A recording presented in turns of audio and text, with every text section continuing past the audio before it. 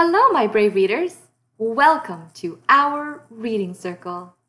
Today, we're going to read Time for School Little Blue Truck, written by Alice Schertle, illustrated in the style of Jill McElmurry by John Joseph, read and adapted by Miss Coralie. Horn went beep, engine purred, friendliest sounds you ever heard. Little Blue Truck came down the road early one morning with good friend Toad. Little Blue Truck called beep beep hi to a big bright school bus passing by. What a wonderful bus, all shiny and yellow. She stopped and smiled. Hi, little fellow. Inside, everyone sat in a row. They waved out the windows to blue below. Little duck called, Quack! There's school today! Little goat said, Ma! Little horse said, Neigh! Lamb, chick, calf called, Baa! Peep! Moo! We're taking the bus to school, Little Blue. What a wonderful job, said Little Blue. I wish I were a school bus too. You're a good little truck, the school bus said, but this job needs a bus instead. I'm shiny yellow, I'm long and wide, with lots of windows and seats inside. As the bus drove off, Blue heard her say, Mustn't be late for school today. Down the road went little Blue, still wishing he were a school bus too. How do you think little Blue is feeling right now? Maybe a little disappointed? They were almost home when Blue said, Toad! That's Piggy crying by the road. Oink, oink, I'm late. Poor Piggy wept.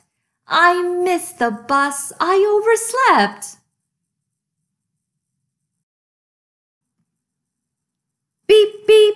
Don't cry, said Little Blue. Climb in. Let's see what I can do. By now the bus is way ahead. We'll take another way instead. Blue made a turn and left the road. Hang on, Piggy, hang on, Toad. I know a path right through this wood. I'll get you there like a school bus should. Bump, bump, bump. The path was rough, and Blue was little but Blue was tough. There were bushes and brambles and towering trees.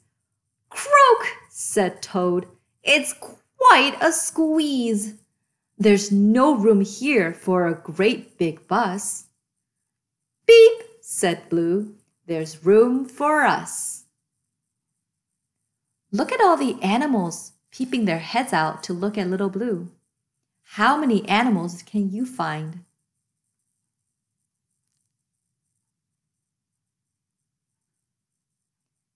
Who? called an owl with mild surprise and looked at Blue with big round eyes.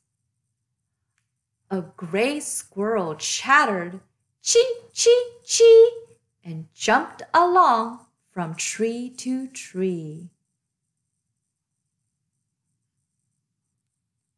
When they came to a stream, Blue splashed right in.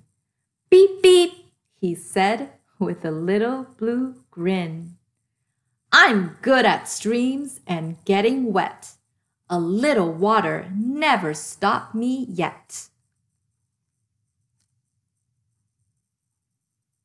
Through the woods, what a bumpy ride! Then there was the road on the other side. Oink! yelled Piggy. You did it, Blue! I see the school and the school bus too. Beep, said Blue. It wasn't hard. And he drove right into the school bus yard. The school bus stared and blinked her eyes. Looks like this job is just your size. You're not big, not yellow, not long and wide, but you had room for a friend inside. You did this job in your very own way. We needed a tough little truck today. Nay! Beep! Oink! Quack!